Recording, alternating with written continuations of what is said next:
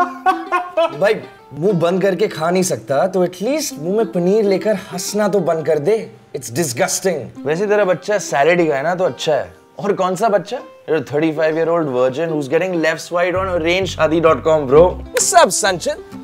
भटूरे की तरह मुँह फुला के क्यों बैठा हुआ है?